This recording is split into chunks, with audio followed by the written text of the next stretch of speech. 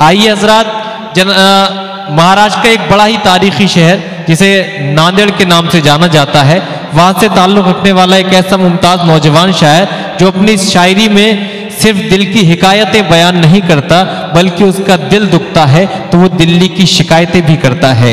आज के दौर में इतनी मुखालिफ हवाएँ हो चुकी हैं कि आज के दौर में जालिम को जालिम कहना, सच को सच कहना झूठ को झूठ कह देना, हक को हक, इंसाफ को इंसाफ कह देना बहुत बड़ी बात है। और ऐसे माहौल में जिसका साबित कदम रहता है, वाकई में वही फनकार होता है। जुल्म के साय में पर तोलेगा कौन? जुल्म के साय में पर तोलेगा कौन? देखना यह है कि लब खोलेगा कौन? सच बयां करना ज़रूरी है बहुत। मैं भी चुप बैठा तो फिर बोलेगा कौन? मैं भी चुप बैठा तो फिर बोलेगा कौन? भरपूर तालियों से अपने मेहमान शायर जनाब अलतमश तालिब का इस्तेमाल कीजिए यकजा समातों को यकजा कर लीजिए, बेदार कर लीजिए। आइए मुलतमस होते हैं, जनाब अल्तमश तालिब से तशरीफ़ लाएँ और अपने कलाम से नवाजें। अस्सलाम वालेकुम आज के इस खूबसूरत मुशारे के निकात के लिए मेरे बड़े भाई आरिफ सैफ़ी साहब को मुबारकबाद देता हूँ और तमाम मेहमान खसूसी यासीन खान साहब हाजी शाहनवाज साहब इनको भी मुबारकबाद देता हूँ। और पहली मरतबा आपके शहर में आया हूँ। युवा अंजुमन वेलफेयर ट्रस्ट के जेर एहतमाम। युवा अंजुमन वेलफेयर ट्रस्ट के ज़ेर अहतमाम ये जो मुशारा मुनद किया किया गया है इसके ज़िम्मेदार हमारे नसीम भाई और भी जो तमाम अहबाब ने जो खिदमत की इन तमाम को मुबारकबाद देता हूँ।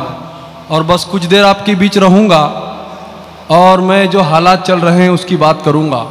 अगर आपके दिल की बात हो तो आप मेरा साथ दें आप मेरी आवाज़ में आवाज़ मिलाएँ। मैं यहाँ से अपनी बात शुरू करता हूँ कि घपले घोटाले कीजिए बेखौफ देश में। आप थोड़ा सा माहौल बना लें तो पढ़ने में मज़ा आएगा।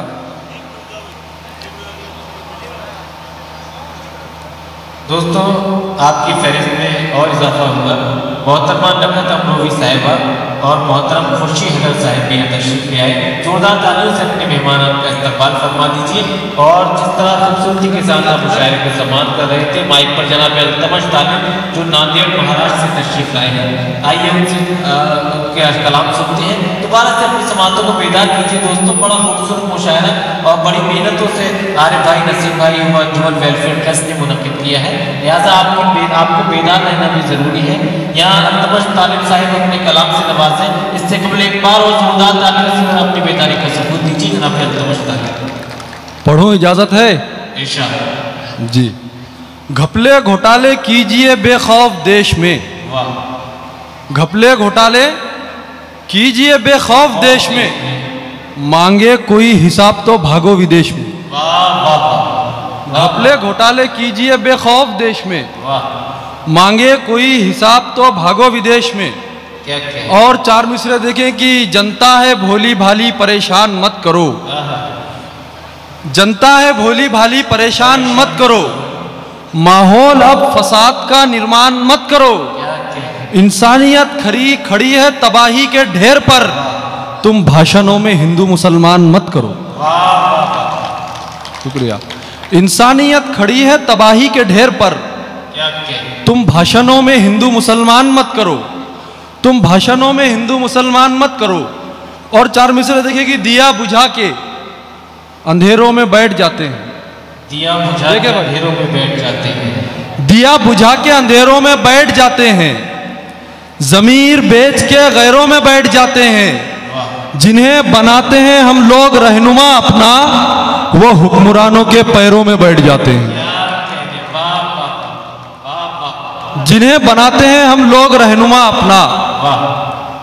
वो हुक्मरानों के पैरों में बैठ जाते हैं। हज़रत, अगर आप मुशारा सुन रहे हैं तो अपनी बेदारी का सबूत दीजिए। क्योंकि शायर पढ़ता नहीं है, शायर से पढ़वाया जाता है। अगर आप ऐसे खामोशी से सुनेंगे तो मज़ा नहीं आएगा।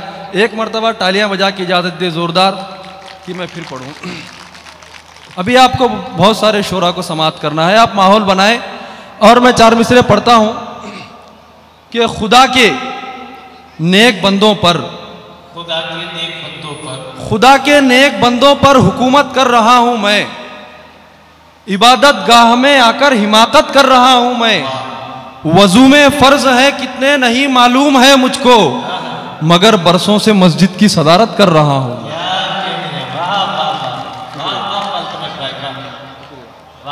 वज़ू में फ़र्ज़ है कितने नहीं मालूम है मुझको।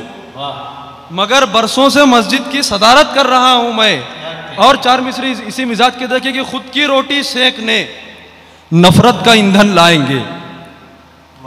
खुद की रोटी सेकने नफरत का ईंधन लाएँगे। अमन को गारत करेंगे, रोज उलझन लाएँगे।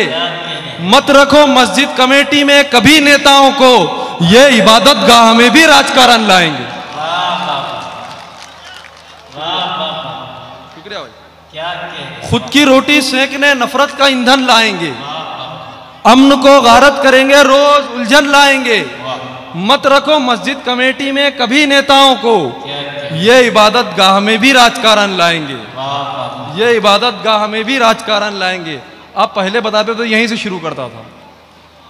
और चार मिसरे देखिए कि मुकद्दर में। मुकद्दर में और देखिए उसी मिजाज के चार मिसरे कि मुकद्दर में जो लिखा है वो सब मिल जाएगा एक दिन। मुकद्दर में जो लिखा है वो सब मिल जाएगा एक दिन। मगर रास्ता किसी का काटने से कुछ नहीं मिलता। अगर कुछ मांगना ही हो तो फिर अल्लाह से मांगो। किसी लीडर के तलवे चाटने से कुछ नहीं मिलता। भाई शुक्रिया। अब आप बेदार हो गए। बड़ा अच्छा लगा इसी बेदार रहे हैं आप। जी जी भाई अरे बहुत है मेरे पास ऐसे। आप अगर सुनेंगे तो बहुत सुनाओ मुकद्दर में जो लिखा है वो सब मिल जाएगा एक दिन।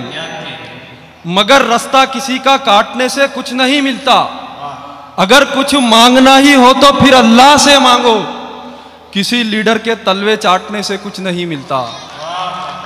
किसी लीडर के तलवे चाटने से कुछ नहीं मिलता। और टीपू सुल्तान रहमतुल्लाह अलैह के हवाले से चार मिसरे पढ़ता हूँ। कि लुटेरों के भी हाथों से खजीना छूट जाता था। लुटेरों के भी हाथों से खजीना छूट जाता था, कि पानी जंग में घोड़ों का पीना छूट जाता था। सुनाई देती थी, जब जंग में ललकार टीपू की तो अंग्रेज़ों को सर्दी में पसीना छूट जाता था। सुनाई देती थी, जब जंग में ललकार टीपू की तो अंग्रेज़ों को सर्दी में पसीना छूट जाता था। तो अंग्रेज़ों को सर्दी में पसीना छूट जाता और चार मिसरे देखे कि जाफरानी आसमां पर अब्र काले आ गए। जाफरानी आसमां पर अब्र काले आ गए। जाफरानी आसमां पर अब्र काले आ गए। अमन के मैदान में त्रिशूल भाले आ गए। मुजरिमों ने शातिराना चाल ही ऐसी चली। सुर्खियों में सिर्फ़ टोपी दाढ़ी वाले आ गए। मुजरिमों ने शातिराना चाल ही ऐसी चली। सुर्खियों में सिर्फ़ टोपी दाढ़ी वाले आ गए। और चार मिसरे देखे कि जहाँ को हुक्मरानी का सलीका दे दिया हमने। जहाँ को हुक्मरानी का सलीका दे दिया हमने, बनाकर ताज के जैसा अजूबा दे दिया हमने। जहाँ को हुक्मरानी का सलीका दे दिया हमने बना के ताज के जैसा अजूबा दे दिया हमने। हमारी शाहकारी पर वतन को नाज है अब भी, ज़मीन हिंद को वो लाल किला दे दिया हमने। ज़मीन हिंद को वो लाल किला दे दिया हमने। ज़मीन हिंद को वो लाल किला दे दिया हमने। और चार मिसरे पढ़ता हूँ कि कठिन। देखो हज़रत जो माहौल चल रहा है हिंदुस्तान में मैं चार मिसरे पढ़ता हूँ आप पहुँच जाएँगे कि कठिन। पुरखौफ रस्तों से गुजारे जा रहे हैं हम। कठिन पुरखौफ रस्तों से गुजारे जा रहे हैं हम।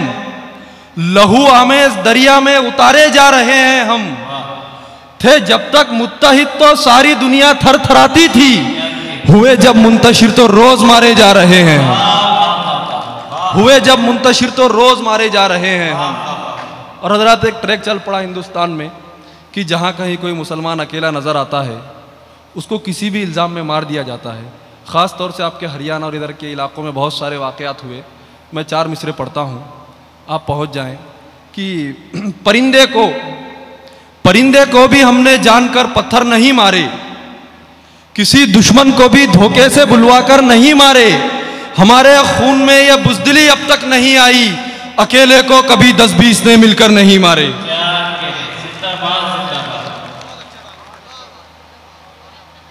हुए जब तो रोज मारे जा रहे हैं दोस्तों, जनाब तालिब साहिब जो नांदेड़ महाराष्ट्र से तशरीफ़ लाए थे। अपने अशार के हवाले से उन्होंने हमारी कौम के मुंतशिर होने का, हमारी कौम के इंतशार का भी ज़िक्र किया।